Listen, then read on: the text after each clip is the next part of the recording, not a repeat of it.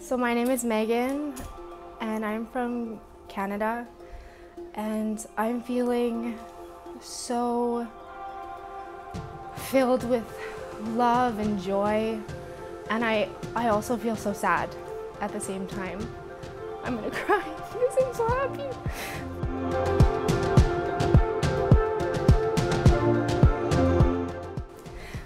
This weekend has been so huge on so many levels and just like the connections we've made with people and and Mary and just like feeling the love and connecting with everyone has been huge so ah,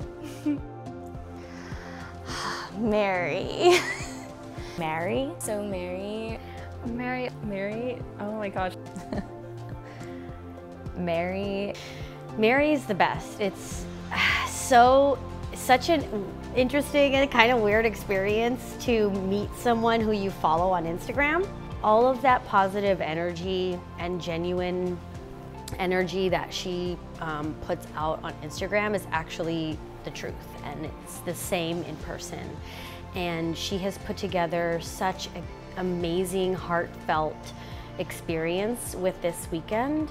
And she is also what I wasn't expecting is she's right there with us. So like a lot of the times she is doing some of the work for herself along with us and it goes beyond like kind of giving us an example, but she's participating with us in a way that makes us feel more comfortable. And I just think she's so smart and awesome.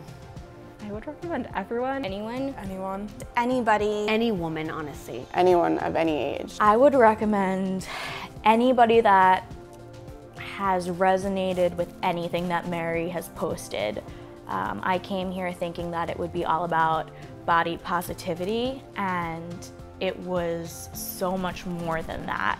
Um, anybody who is struggling with where they're at in any way, um, emotionally, relationship wise, with others, with themselves, it was just really such a gift to be able to connect with everyone here. If someone's thinking about joining the retreat, I would tell them to take the leap of faith. I, I'm glad that I did and that investing in yourself is really important and it might feel scary to make that investment financially and it might feel scary to go and meet a bunch of random strangers, but um, that's why it's called a leap of faith because if there's something that's making you think you want to come, listen to that voice because um, I'm really, really glad that I did. I have learned a lot of really good tools, I think, just to help myself change the way that I feel about myself.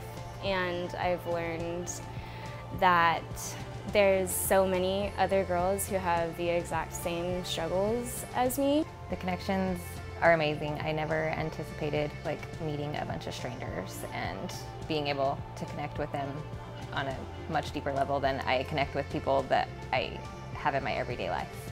And it has been super eye-opening that there are people that have the same like wants and needs in life and the same struggles but in different ways but and that you can connect with people that you've never even met and that you can love people that you don't really have a past with.